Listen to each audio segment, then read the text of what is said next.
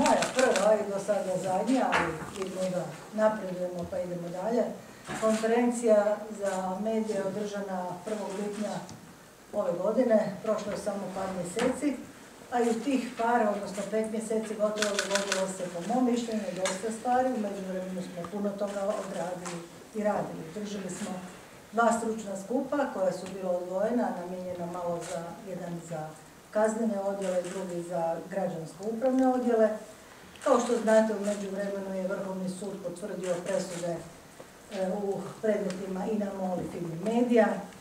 Također smo uspjeli u jednoj međunarodnoj investicijskoj arbitraži u kojoj je nizozemski investitor tužio Republiku Hrvatsku radi naknade štete od 71 milijun eura. Ako vas zanima, koga zanima, mogao je to pročitati na našoj stranici. E, također smo e, objavili, odnosno Županijsko državno odvjetništvo je objavilo e, o donošenju prvostupanjske odluke u predmetu vezano za kupnju sustava S300, gdje smo, istina, nepravomoćnom odlukom dobili, uspjeli u sporu za 200 milijuna američkih dolara. Naravno, i to je priopćenje na našoj stranici, ako vas zanima. Ja se osobno nadam da će uskoro biti donesena politička odluka o tome da li će se osnovati visoko državno odvjetništvo ili ne, jer bi to u velikoj mjeri utjecalo na rad državnog odvjetništva Republike Hrvatske prije svega, utjecalo bi na naše rasterećenje i omogućilo nam da se posvetimo onome što nam je temeljna zadaća, a to je nadzor i koordinacija rada i uspostava jedinstvenog rada svih državnih odvjetništava. Smatraju da se prljavi veš treba prati u svom dvorištu iza zatvorenih vrata. Suprotno tome, ja mislim da o tome možemo i trebamo otvoreno progovarati i da kao državno odvjetništvo možemo i želimo pokazati svima da smo spremni otvoreno razgovarati, otkrivati, ali i isto tako i rješavati probleme vlastite koje imamo, probleme koje imamo u vlastitoj kući. Upravo ovo što sam vam sada rekla osporava sve ove teze koje se e, manjim ili većim intenzitetom provlače kroz, kroz medije i kroz javnost, da državno odvjetništvo i usko funkcioniraju pod utjecajem izvršne vlasti, što kategorički odbijam i poričem. Odbacujem svaku takvu insinuaciju. A iz nastavka konferencije i naših izjava i odgovora na vaše pitanja na koja smo spremni odgovorati, moći ćete čuti i razlog. U ostalom, kad pogledam primjere i nekritičke, e, dakle, ko plasira sve objede i netemeljene kritike na rad državnog odvjetništva. To su zapravo osobe koje zastupaju okrivljenike ili pripadnici pojedinih skupina koje imaju bilo političke ili neke druge interese. I mene su davno učili, prije nego što pogledaš što se govori, pogledaj tko govori. E, ono što vam mogu reći, da sve osobe koje su radile na tom, e, na tom nalazu su potpisali izjavu o svojoj neovisnosti. Prema tome, Hrvatsko e, državno odvjetništvo kada je e, angažiralo i odobrilo osobe koje su to razvoj, nije imalo, nije imalo razloga za sumnjati u, e, u to i provjeravati da li je neko negdje radio. Naravno, ide, ovisi o njihova obveza bila i dali su svoje izjave. A naravno da je za očekivati da će nakon podizanja ovaj, optužnice glavni nositelj toga posla, ismetka malo biti ispitani i odgovorit će e, na sva pitanja koja će sud imati vezano za način rada i izbora suradnika koji će raditi na izradi nalaza. Ostali, bilo je jasno da nemamo drugog izbora nego povući optužnicu e, u velikom Agrokoru. To nikako ne znači. Ja vas molim, jasno to naglašavam Državno odvjetništvo nije odustalo od optužnice za predmet Agrokor. Niti slučajno. Optužnicu ćemo ponovo podići nakon što se predmet, da tako kažem, očisti od eventualno kontaminiranih dokaza e, na kojima je radila ova zamjenica.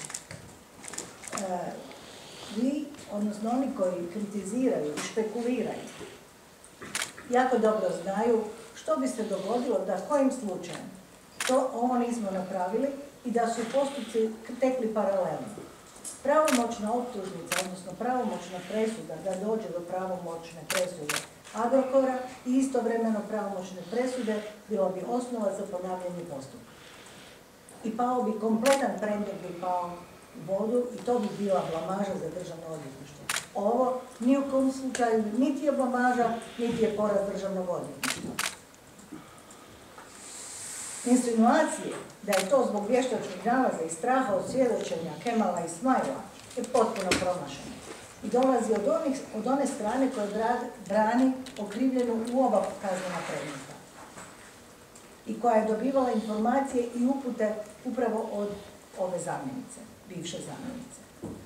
Svaki zaposlenik KPMG-a koji je radio na izradi vještačkog nalaza dao je izjavu o neovisnosti. U ostalom, zakonitost i pitanja i prigovori koje je dao Visoki kazneni sud kad se podigne nova optužnica, sigurno će biti predmet razmatranja i optužno vijeće će ponovo razmatrati i vjerojatno i sasvim e, drugog puta nego što je činilo ranije, imat će u vidu stav i mišljenje Visokog kaznenog suda. U ovom konkretnom predmetu, dakle, e, to je rezultat do sada, dakle, istraga koja je vođena u takozvanom predmetu Jana, E, dakle, nova saznanja i novi dokazi koji su prikupljeni tijekom istrage doveli su do realizacije ove jučerašnje koje, ste vi pratili. Činjenica je da e, se radi dakle o pet osoba, da se radi, kao što je glavna državna odvjetnica rekla, o zamjenici, bivšoj zamjenici e, županijske državne odvjetnice, E, također i protiv još nekih osoba za gospodarske kaznena djela, međutim ono što e, sigurno ste propratili, e, detalje koliko se može u ovoj fazi iznositi su objavljene na našoj web stranici, dakle ponavljam u četiri sata je zakaženo istražno ročište, predloženi istražni, istražni zatvor u odnosu na sve dakle, osobe i dakle vidjet ćemo ishod i epilog, ja smatram da će biti onako e, sukladno prijedlogu koji je obrazložen i koji, će, koji je otišao na sud.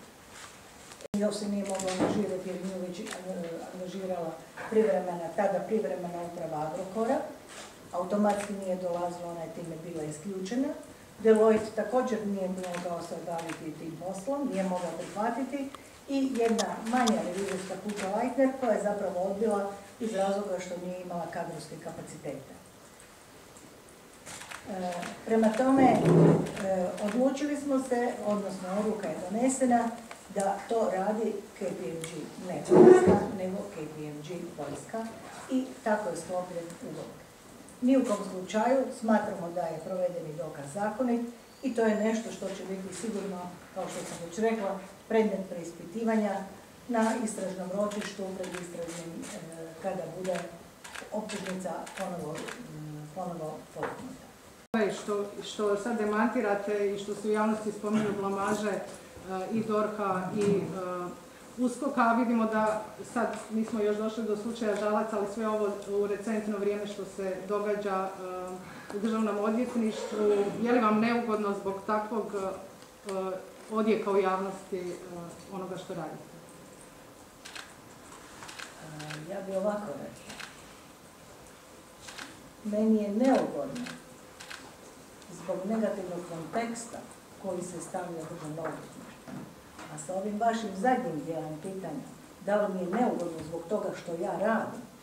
Ne, nije mi neugodno, jer radim jedan težak posao i jako sam svjesna svojih odgovornosti i potpuno mi je jasno kad me neko obezređuje u javnosti, da, teško mi ali nisam zato odgovorna i radim svoj posao dobro. A zato treba vrijeme. Jer obično, znate, kad počinjete e, nešto saditi ili sijati, treba proći vremena da se vide plodovi toga. Rezultat je bio isti. Donijeto je rješenje odbačaju kaznene prijave. Da je naš stav bio ispravan, pokazuje i činjenica da je o preuzimanju progona Ivice Todorića po tom rješenju o odbačaju Županijski sud u Zagrebu odbio taj prijedlog kao osnovan i potvrdio stajališta USKOK. a što se dakle kroz ova e, zadnje vrijeme e, dakle, potenciranje tih, pogotovo nakon jučerašnjih događaja, e, i ne eks- eksplicitno i ne navodi, pa čak i prešućuje. e, priopćenja i stranice, onda ste mogli vidjeti da je Državno odvjetničko vijeće ove godine puno angažiranije, ima puno više posla nego ranijih godina. Nažalost, nema u onom dijelu posla koji bi nas veselio, to je imenovanje novih zamjenika i državnih odvjetnika. Povećao se broj stegovnih postupaka.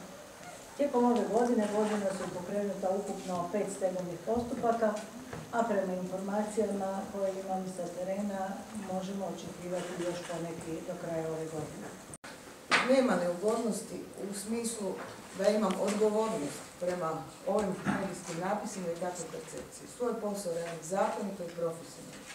Jednako tako kao i sve moje kolege u USKOK-u, ono što mogu reći je da e, je ova situacija koja nas prati kroz rad USKOK-a i državnog odvjetništva nešto što je kontinuitet da ima odjeke u javnosti i tako dalje. To je nešto na što, što ide u rok službe. Međutim, apsolutno poričem da bi na bilo koji način, u bilo kojem trenutku postupala po nečijim pritiscima, po nečijim nalozima koji i po nečijem, e, dakle, dirigiranju, e, već su odluke koje su donesene u predmetima uvijek rezultat zakonitog i profesionalnog postupanja. Nesvakidašnji događaj. Osumnjičena je bivša tužiteljica. Tužiteljica koja je u sprezi s osumnjičenim o, u nekom postupku. E, Tko sad, kako javnost ima povjerenje da se tako što ne događa češće? Što mi znamo sad što se unutar vaših zidova događa? Ako vidimo ovaj slučaj. Upravo ovo što mi sada vodimo pokazuje da mi uvijek reagiramo kada prikupimo dokaze, da ne štitimo nikoga, da to nije prvi slučaj procesuiranja. Dakle, kolega iz sustava za koje su prikupljeni dokazi da bi počinili kaznena djela na štetu, dakle, dužnosti koje obavljaju i iskoristili svoj službeni položaj. To pokazuje da nemamo beskompromisno pristupamo tome i da nema nedodirljivih u našim redovima.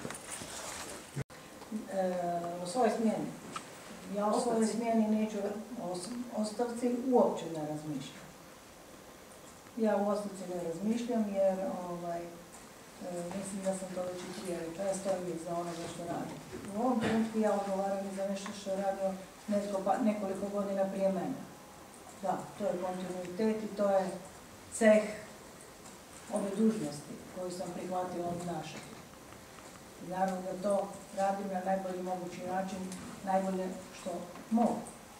Uvijek postoje nekakve okviri obrade zbog kojih neke stvari nisu, nisu ali uvijek ima činjenica koje se, e, nove činjenice koje se otkrivaju i koje se, ovisno o tome se dalje usmjerava postupanje. Govoriti o Agrokoru kao da se radi o predmetu e, pljačke bankomata je neusporedivo. A što se tiče izjava e, poštovanog predsjednika Republike Hrvatske, ja nisam nikada do sada, pa neću ni od sada komentirati izjave niti jednog političara. Samo može da je ovo kako možete reći, jer mislite sada je to greška što kad već kažete 2015. godine su zaprimljene prve prijave, one su nadopunjavane na više događaja, više osoba.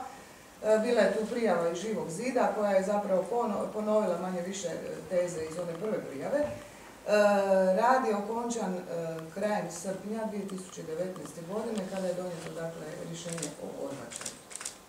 Povodom tog rješenja o odbačaju koji sublimirao sve te prijave, kao što sam rekla, i raniji rad na onoj prvoj kaznenoj prijavi, potvrdio dakle rezultate i onog rada. Po prvoj kaznenoj prijavi je okončan dakle krajem srpnja 2019. godine, to je javnost izvješćena našim priopćenjem. E, U zakonskom roku je podnositelj prijave Ivica Todorić podnio prijedlog za preuzimanje progona i e, Županijski sud u Zagrebu je, koliko se, sje, se sjećam, krajem 20. godine odbio taj prijedlog kao neosnovan. Kao što Iako je VKS nedavno rekao da im je sklonio to KPMG-a, da na monopolijskom registru oni uopće nisu za reviziju registrirani. e, pitanje, je, kao što sam već rekla, pitanje zakonitosti e, vještačenja nema nikakve veze sa povlačenjem optužnice. To je nešto što ćemo mi, mi smatramo da je ovo bilo e, vještačenje zakonito, da je zakonito provedeno i to je nešto o čemu će se raspravljati kad se optužnica ponovo podigne. E, kad pitate zbog čega nije optužnica povučena pred godinu dana, naprosto zato što u tom trenutku nismo imali nikakvih, apsolutno nikakvih naznaka da je e, ta zamjenica imala veze sa ovim što se događa i da je, da je zapravo analizirala podatke i dostavljala podatke e, optuženima u predmetu Agrokor. Tada se radilo, vi znate da je u predmetu Janaf, svi ćete se dobro sjećati, bilo je pitanje, s obzirom da je radio, e, tada je bila zapravo postupak išao kome se istraživala postupanje njezinoga supruga. Pa je, bio, pa je bila pretraga stana gdje, je našla, gdje se našla određena e, svota novca i tako dalje. I nakon razgovora koji sam, ja sam njom osobno obavila, nakon toga pozvala sam da li ona zna i koliko zna o e, postupanjima i aktivnostima svoga supruga. Ona rekla da se tim nema nikakve veze, ali da s obzirom na uopće odnose i odvijete u javnosti, ne želi biti teret državnom odvjetništvu i sama je stavila zahtjev za razmišljenje koje je naravno državno odvjetničko vijeće usvojilo. U tom trenutku, sve do dovršetka ovih izvida koji su se zapravo e, analizirajući predmet JANAF i ono što se u njemu događalo, se došlo do ovih podataka koji su ukazali, kao što je rekla već ravnateljica Jeste provjerili u Poljskom drugi dio bi posvetili jednom isto tako vrlo aktualnom pitanju, a to je pitanje postupanja uskoka u predmetu takozvani predmet U javnosti se dakle e, polemizira i različito tumače dakle, dosadašnje priopćenja ureda i moezije. Dakle, u ovom konkretnom predmetu ono, sve što sam rekla u ovoj izjavi, a također što je priopćeno na službenim stranicama ureda, ostajem kod toga u cijelosti i ponovila bi sad i, još i objasnila nekakve e, dakle, detalje i otvoreno pitanje. Naravno i odgovorila na vaše pitanje. Točno je da je ovaj predmet bio, dakle, da je ured uskog, dakle, otvorio ovaj predmet i to ne temeljem kaznene prijave, već temeljem, dakle, medijskih objava koje su objavljene u javnosti vezano za sumnje u nezakonito postupanje e, bivše ministrice, ministarstva, dakle i vezano i za ovaj konkretni događaj nabave IT opreme za potrebe ministarstva.